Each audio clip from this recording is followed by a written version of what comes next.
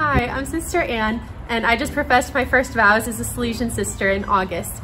And what first attracted me to the Salesian Sisters six years ago was the joy and family spirit that I found here. Um, but then what really brought me um, to want to join was when I saw a, qu a quote from Don Bosco on the wall that said, it's not enough that you love the young, they have to know that they're loved. Um, and that's what I always wanted to do. I always wanted um, to be someone that would help young people to know that they're loved. And so that is why I came and that's why I continue to stay so that I can share God's love with all the young people that I meet.